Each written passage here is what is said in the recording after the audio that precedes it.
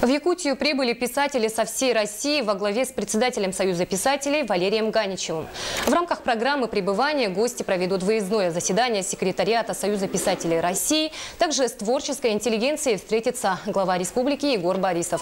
Почетные гости ознакомятся с культурой якутского народа, посетят историко-архитектурный музей в Соттинцах и национальный праздник Исеха Аланхо.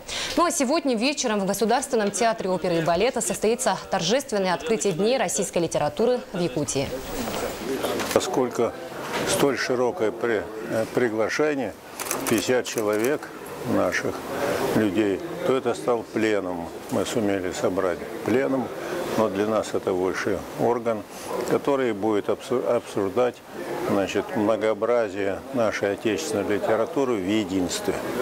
Это большое качество нашей литературы, которое другие литературы не обладают.